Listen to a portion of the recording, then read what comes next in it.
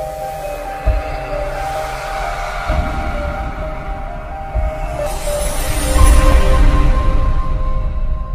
Hello friends இந்த வீடியோல நம்ம என்ன பார்க்க போறோம் அப்படின்னா இன்றைய முக்கிய நடப்பு நிகழ்வுகளை வினா விடைகளா பார்க்க போறோங்க. கண்டிப்பா இது நீங்க ஃபியூச்சர்ல அட்டன் பண்ண போற TNPSC police SI forester forest guard railway போன்ற தேர்வுகள்ல கரண்ட் அஃபேர்ஸ்ல கேட்கப்படுற கேள்விகளை அட்டன் பண்றதுக்கு ரொம்பவே யூஸ்ஃபுல்லா இருக்குங்க. சரிங்க இத பாக்குறதுக்கு முன்னாடி அருண் அகாடமி சேனலை இது வரைக்கும் நீங்க சப்ஸ்கிரைப் பண்ணலைன்னா உடனே சப்ஸ்கிரைப் பண்ணுங்க. கூடவே பெல் சிம்பலையும் பிரஸ் பண்ணுங்க.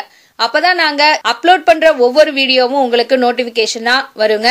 நீங்களும் தவறாம பார்க்க முடியுங்க. இன்றைய முக்கிய நடப்பு நிகழ்வுகளை பாக்குறதுக்கு முன்னாடி நேற்றைய கேள்விகளுக்கான விடைகளையும் இன்றைய உங்களுக்கான கேள்விகளையும் பாத்திரலாங்க நேற்றைய கேள்விகள்ல முதல் கேள்விக்கான விடை ஆப்ஷன் டி அறுபத்தி ஐந்து.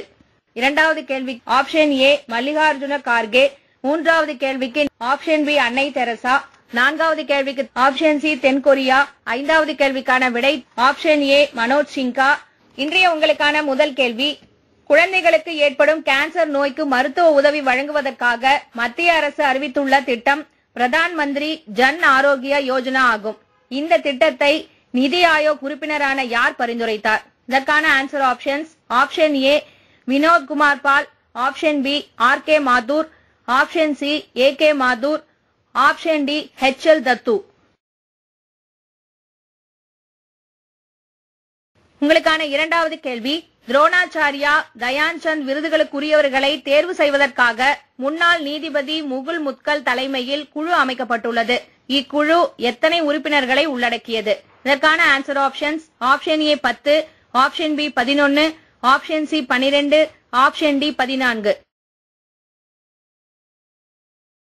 உங்களுக்கான மூன்றாவது கேள்வி. அண்மையில் சர்வதேச ஹாக்கி போட்டியில் இருந்து ஓய்வு பெறுவதாக அறிவித்துள்ள இந்திய ஹாக்கி வீரர் சர்தார் சிங் ஆவார்.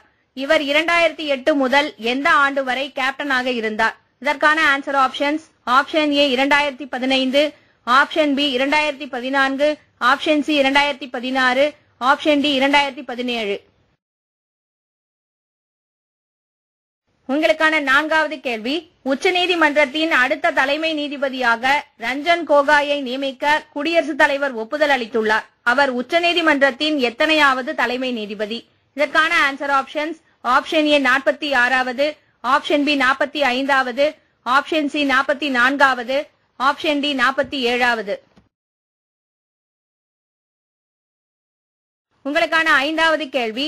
தமிழகத்தில் அனைத்து அரசு மற்றும் தனியார் பள்ளிகளில் பிளாஸ்டிக் பயன்பாட்டுக்கு செப்டம்பர் பதினைந்து முதல் தடை அறிவிக்கப்பட்டுள்ளது. தமிழகத்தில் அடுத்த ஆண்டு எப்போது முதல் பிளாஸ்டிக் பொருள்களை பயன்படுத்த தடை விதிக்கப்படுவதாக தமிழக அரசு ஏற்கனவே அறிவித்திருந்தது. இதற்கான ஆன்சர் ஆப்ஷன்ஸ் ஆப்ஷன் ஏ ஜனவரி முப்பது ஆப்ஷன் பி ஜனவரி பதினைந்து ஆப்ஷன் சி ஜனவரி பதினான்கு ஆப்ஷன் டி ஜனவரி ஒன்னு. சரிங்க இந்த கேள்விகளுக்கெல்லாம் பதில் தெரிஞ்சதுன்னா கீழே கமெண்ட்ல ஆன்சர் பண்ணுங்க. அப்படி தெரியலனா பதினொன்னு ஒன்பது ரெண்டாயிரத்தி பதினெட்டுல இருந்து பதினஞ்சு ஒன்பது ரெண்டாயிரத்தி பதினெட்டு வரையிலும் நாங்க அப்லோட் பண்ண வீடியோவை பாருங்க. அடுத்த வீடியோல நான் இந்த கேள்விகளுக்கான விடைகளை சொல்றேங்க. இன்றைய முக்கிய நடப்பு நிகழ்வுகள்ல முதல்ல நம்ம பார்க்க போறது நேஷனல் நியூஸ் சர்வதேச நிகழ்வுகள். முதல் கேள்வி எந்த ஆராய்ச்சியாளர்கள் உலகின் முதல் பயோ எலக்ட்ரானிக் உயிரி மின்னணு மருந்துகளை உருவாக்கியுள்ளனர்? இதற்கான விடை அமெரிக்கா. மேலும் இதை பத்தின சில தகவல் என்னன்னா அமெரிக்காவின் வாஷிங்டன் பல்கலைக்கழகத்தின் ஆராய்ச்சியாளர்களால் உருவாக்கப்பட்ட இது சேதமடைந்த நரம்புகளை குணப்படுத்தும் ஒரு சாதனமாகும். இன்றைய முக்கிய நடப்பு நிகழ்வுகள்ல அடுத்தது நம்ம பார்க்க போறது நேஷனல் நியூஸ் தேசிய நிகழ்வுகள். எந்த மாநிலத்தில் ஆசியாவின் முதல் டால்பின் ஆராய்ச்சி மையம் அமைக்கப்பட உள்ளது. இதற்கான விடை பீகார். மேலும் இதை பத்தின சில தகவல் என்னன்னா பீகார் தலைநகர் பாட்னாவில் உள்ள பாட்னா பல்கலைக்கழக வளாகத்தில் கங்கை ஆற்றின் கரையில் தேசிய டால்பின் ஆராய்ச்சி மையம் அமைக்கப்பட உள்ளது. இது இந்தியா மற்றும் ஆசியாவின் முதல் டால்பின் ஆராய்ச்சி மையமாகும். அழிவின் விளிம்பில் உள்ள உயிரினமான டால்பின்களை பாதுகாப்பும் பாதுகாக்கும் முயற்சியாக இது அறிவிக்கப்பட்டுள்ளது.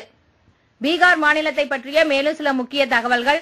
இம்மாநிலத்தினுடைய தலைநகரம் பாட்னா முதலமைச்சர் நிதிஷ்குமார் ஆளுநர் லால்ஜி டாண்டன் உயர்நீதிமன்றம் பாட்னா ஆயிரத்தி தொள்ளாயிரத்தி நாற்பத்தி ஆறு பிப்ரவரி மூன்றில் நிறுவப்பட்டது. தலைமை நீதிபதி முகேஷ் ஆர் ஷா. அடுத்த கேள்வி. மனிதநேயத்திற்காக இந்தியா என்ற ஒன்றை அறிமுகம் செய்துள்ள அமைச்சகம் எது? இதற்கான விடை வெளியுறவு அமைச்சகம். மேலும் இதை பத்தின சில தகவல் என்னன்னா இதன் கீழ் ஜெய்ப்பூர் கால் என்று அழைக்கப்படும் செயற்கை கால்கள் உலகம் முழுவதும் தேவைப்படுவோருக்கு இலவசமாக வழங்கப்படும்.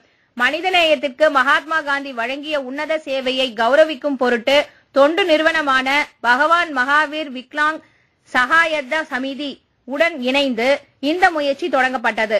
ஆயிரத்தி தொள்ளாயிரத்தி எழுபத்தி ஐந்தாம் ஆண்டு தொடங்கப்பட்ட இந்த நிறுவனம் செயற்கைக்கால் உற்பத்தி செய்யும் உலகின் மிகப்பெரிய நிறுவனங்களில் ஒன்றாகும். அடுத்த கேள்வி இரண்டாயிரத்தி பதினெட்டு சர்வதேச திரைப்பட விழா எந்த மாநிலத்தில் உள்ளது? இதற்கான விடை கோவா. மேலும் இதை பத்தின சில தகவல் என்னன்னா நவம்பர் இருபது முதல் இருபத்தி எட்டு வரை நடைபெற உள்ள கோவா சர்வதேச திரைப்பட விழாவில் பங்குதாரர் மாநிலமாக ஜார்க்கண்ட் பங்கேற்க உள்ளது. ஜார்க்கண்ட் மாநில அரசின் கலாச்சாரத்தை வெளிப்படுத்துவதற்காக இத்திரைப்பட விழாவில் பங்குதாரராக ஜார்க்கண்ட் பங்கேற்கிறது. அடுத்த ஆண்டு ஜனவரியில் ஜார்க்கண்டில் உள்ள இரு நகரங்களில் திரைப்பட விழாவை நடத்தவும் முடிவு செய்யப்பட்டது. ஜார்க்கண்ட் மாநிலத்தினுடைய தலைநகரம் பானாஜி முதலமைச்சர் மனோகர் பாரிக்கர் ஆளுநர் மிருதுலா சின்ஹா உயர்நீதிமன்றம் மும்பை ஆயிரத்தி எட்நூத்தி அறுபத்தி ரெண்டு ஆகஸ்ட் பதினாலில் நிறுவப்பட்டது. தலைமை நீதிபதி நரேஷ் ஹரிஷ் சந்திர பாட்டில். அடுத்த கேள்வி. தேசிய காவலர் நினைவகம் மற்றும் அருங்காட்சியகத்தை பாரத பிரதமர் எங்கு துவங்கி வைத்தார்? இதற்கான விடை சாணக்கியபுரி புதுடெல்லி. மேலே இதை பத்தின சில தகவல் என்னன்னா ஆயிரத்தி தொள்ளாயிரத்தி ஐம்பத்தி ஒன்பதாம் ஆண்டு அக்டோபர் இருபத்தி ஒன்னாம் தேதி லடாக் எல்லையில் சீன ராணுவத்தினர் மறைந்திருந்து நடத்திய தாக்குதலில் இந்திய காவலர்கள் பத்து பேர் பலியாகினர். அவர்களை நினைவு கூறும் விதமாக ஆண்டுதோறும் அக்டோபர் இருபத்தி ஒன்னு தேசிய காவலர் நினைவு தினமாக அனுசரிக்கப்பட்டு வருகிறது. இந்த தினத்தில் காவலர் நினைவகம் மற்றும் அருங்காட்சியகத்தை பாரத பிரதமர் புதுடெல்லியில் துவங்கி வைத்தார். பேரிடர் காலங்களில் மீட்பு மற்றும் நிவாரண பணிகளில் சிறப்பாக பணியாற்றும் காவலர்களுக்கு இந்த ஆண்டு முதல் நேதாஜி சுபாஷ் சந்திரபோஸ் பெயரில் விருது வழங்கப்படும் என பிரதமர் அறிவித்துள்ளார். அடுத்த கேள்வி இந்தியாவின் மிக நீளமான பாலம் எந்த ஆற்றின் குறுக்கே கட்டப்படுகிறது? இதற்கான விடை பிரம்மபுத்திரா. மேலும் இதை பத்தின சில தகவல் என்னன்னா அசாமில் உள்ள துப்ரி நகரத்தையும் மேகாலயாவில் உள்ள ஃபூல்பரி நகரத்தையும் இணைப்பதற்காக பத்தொன்பது புள்ளி மூணு கிலோமீட்டர் நீளம் கொண்ட நான்கு வழி பாலம் அமைக்கப்பட உள்ளதாக தெரிவிக்கப்பட்டுள்ளது. அடுத்த கேள்வி. மக்கள் பிரதிநிதித்துவ சட்டம் ஆயிரத்தி தொள்ளாயிரத்தி ஐம்பத்தி ஒன்னின் எந்த பிரிவின்படி கர்நாடகத்தில் இடைத்தேர்தல் நடத்தும் தேர்தல் ஆணையம் ஆந்திரத்தில் இடைத்தேர்தல் நடத்தாமல் உள்ளது?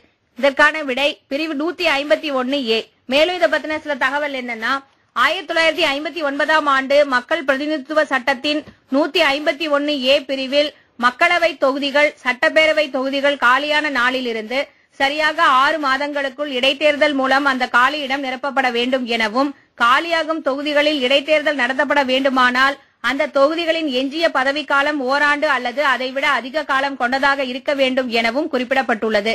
கர்நாடகத்தில் உள்ள மூன்று மக்களவை தொகுதிகள் கடந்த மே பதினெட்டாம் தேதி மே இருபத்தி ஒன்னாம் தேதியிலிருந்து காலியாக உள்ளன. மக்களவையின் பதவிக்காலம் இரண்டாயிரத்தி பத்தொன்பது ஜூன் மூன்றாம் தேதி வரை உள்ளது. கர்நாடகத்தில் மூன்று மக்களவை தொகுதிகள் காலியான நாளான மே பதினெட்டு இருபத்தி ஒன்னாம் தேதியுடன் மக்களவையின் எஞ்சிய பதவிக்காலத்தையும் ஒப்பிட்டால் ஓராண்டுக்கும் அதிக பதவிக்காலம் இருக்கிறது. இதனால் அங்கு இடைத்தேர்தல் நடத்தும் முடிவை தேர்தல் ஆணையம் எடுத்தது. அதே நேரத்தில் ஆந்திர மாநிலத்தில் ஐந்து மக்களவை தொகுதிகளிலும் கடந்த ஜூன் இருபதாம் தேதியில் இருந்துதான் காலியாக உள்ளன. இந்த தேதியை மக்களவையின் எஞ்சிய பதவிக்காலத்துடன் ஒப்பிடும்போது ஓராண்டுக்கும் குறைவாக வருகிறது. இதனால் ஆந்திர மாநிலத்தில் ஐந்து மக்களவை தொகுதிகளுக்கு இடைத்தேர்தல் நடத்துவதில்லை என்று முடிவை தேர்தல் ஆணையம் எடுத்தது என்று தேர்தல் ஆணையம் தெரிவித்துள்ளது. இன்றைய முக்கிய நடப்பு நிகழ்வுகள்ல அடுத்த நம்ம பார்க்க போறது அப்பாயின்மெண்ட்ஸ் நியமனங்கள் இந்தியாவின் புதிய அரசு தலைமை வழக்குரைஞர் யார்? இதற்கான விடை துஷார் மேத்தா.